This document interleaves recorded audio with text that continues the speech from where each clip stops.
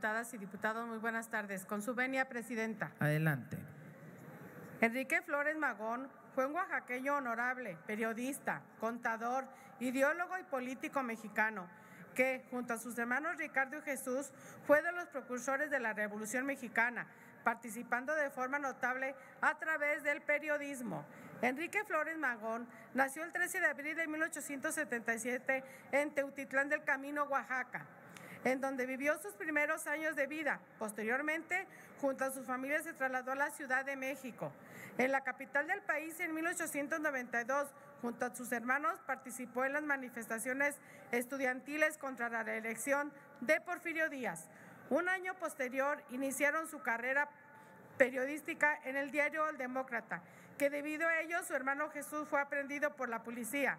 Enrique, que en ese entonces tenía 16 años de edad, permaneció libre.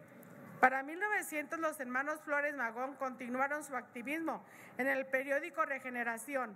En 1902 Enrique y Ricardo editaron El Hijo del Aguizote, el cual fue consurado por el régimen periodista y que los obligó a exiliarse en 1904.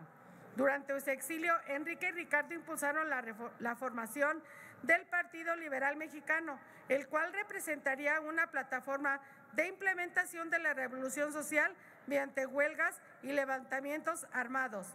Enrique Flores Magón fue reconocido por sus ideales liberales, ya que se consideraba que la evolución política de nuestro país estaba por transitar hacia una mejor sociedad y así luchar por la recuperación de la libertad política.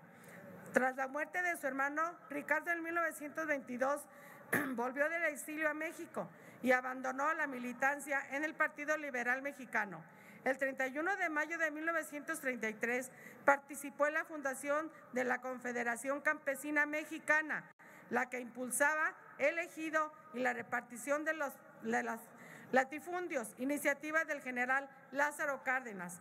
Esto se consideraba como uno de sus últimos actos políticos en el que destacó el pensamiento magonista. Diez años más tarde apoyó la candidatura de Lázaro Cárdenas junto a la Liga Nacional Agraria y la Confederación Campesina Mexicana. Falleció el 28 de octubre de 1954. Como todos conocemos, el periodismo político en su época implicaba una tarea desafiante y peligrosa. Enrique Flores Magón comenzó esta labor escribiendo sobre las injusticias que los campesinos padecían por parte del sistema judicial y dirigentes del Estado.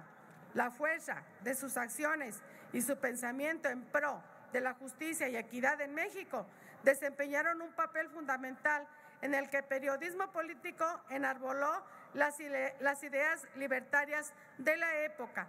Compañeras diputados y diputadas, seguimos en un México donde siguen muriendo periodistas y seguimos en el abandono de los campesinos.